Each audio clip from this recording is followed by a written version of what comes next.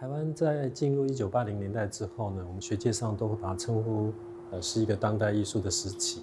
是林寿宇的绘画已死的这个宣言，其实开拓了呃整个台湾八零年代或者是当代艺术的一个开端。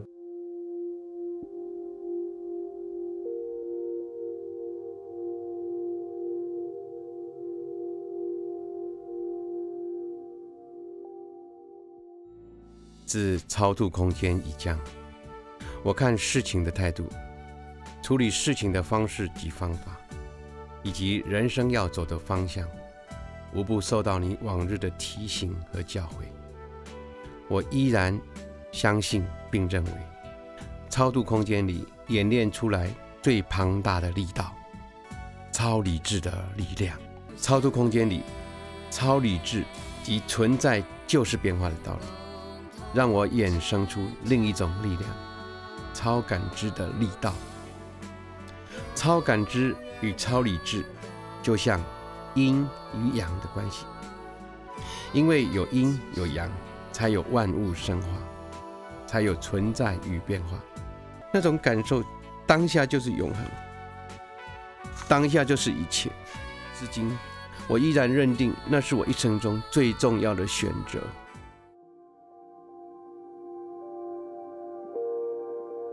八零年代回台湾的时候，还是在戒严，可是，在那个时代比以前开放多了，自由了。很多艺术家又恢复到所谓的纯艺术，又不再批判，因为已经民主了。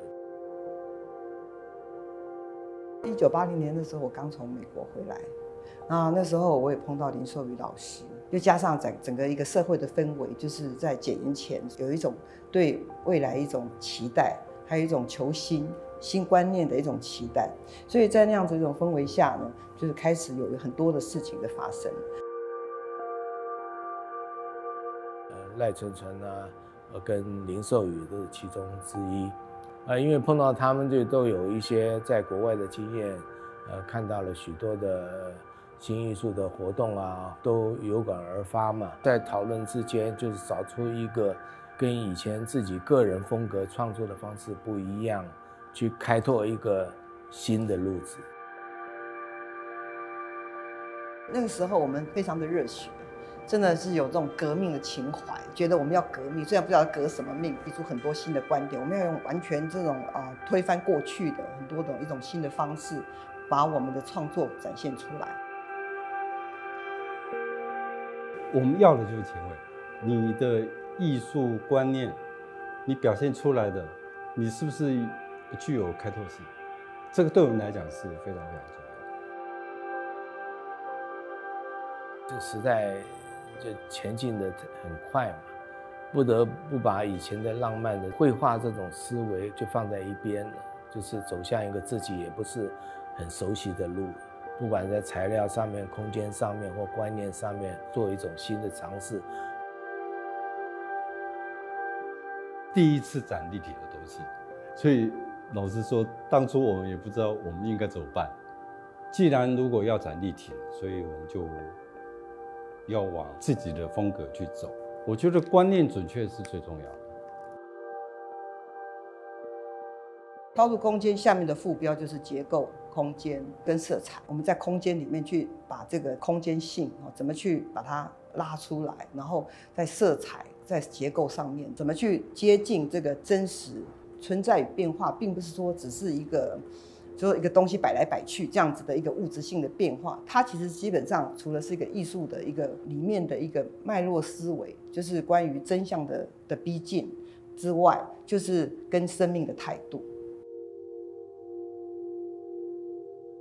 艺术是生成中的，就是在发展中的艺术，它并不是一个已经被界定死的，而是我们是有权利来诠释艺术的。我们最喜欢看的就是回顾展，做到现在为什么这么演变过来？我们这些做异度、超度，某一些观念，如何在呃，就是跟现在的创作如何连接起来，如何去维持他们的艺术生命？我觉得这个是蛮蛮珍贵的。张永春啊，或者是庄普、赖纯纯。胡坤龙他们这几位啊，都是在林松宇老师这种观念的这个开启下，啊，渐渐投入当代艺术的创作。这个绘画遗址事实上也宣告了整个台湾美术史从一种平面走向空间环境观念的一种新的起点。他们四位，呃，至今都还努力的在创作当中。那他们的这个几十年的一个创作历程，也代表了整个台湾呃当代艺术呃最前线的一种成果。